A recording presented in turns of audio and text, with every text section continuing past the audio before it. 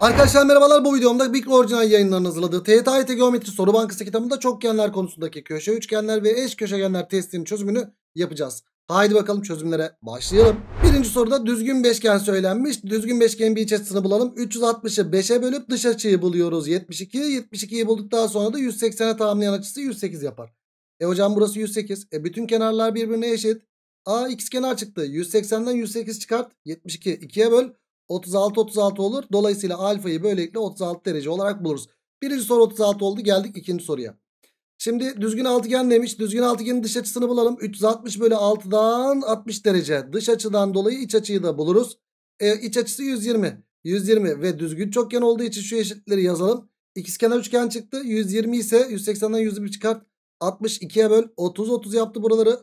Hatta burası da 120. E bunlar da 30 30 yaptı. Ve şu açıya bakar mıyız şimdi? Tamamının kaç olması lazım? İç açı olduğu için 120. 30 30 60'ı buradaysa buraya da 60 derece kalır. Yani cevap 60 derece oldu örnek 2'de. Geldik örnek 3'e. 5 12'yi gören hemen şunu çizer büyük ihtimalle. 5 12 ne üçgeni? 13 üçgeninden burası 13 oldu.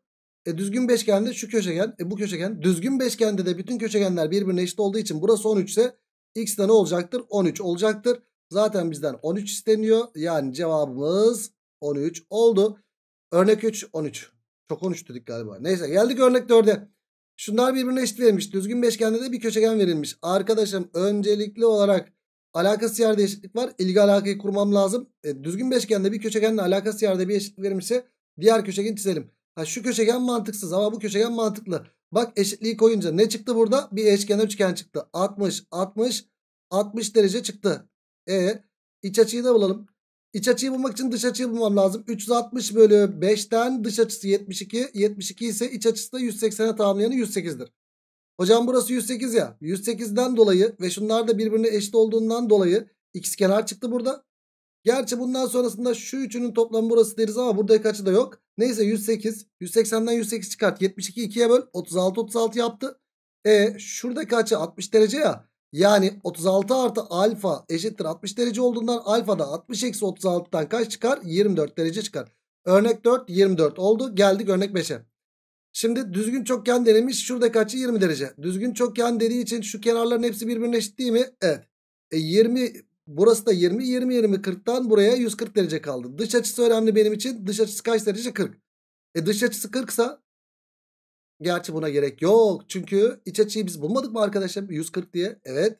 İç açısı 140 ise ben çokgenin kaçgen olduğunu bulacaktım. Kaçgen lazımsa dış açı lazım bize.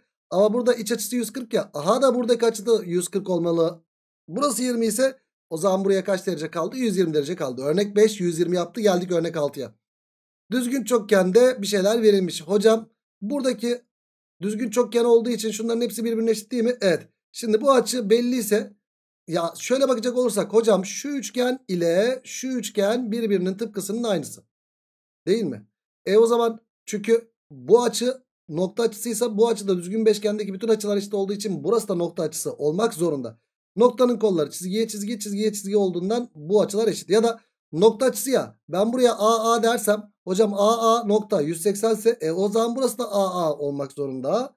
Oradan da söyleyebiliriz. Neyse iç açısı kaç derece oldu? Aa şurası da iç açısı. Yani 2A artı 100.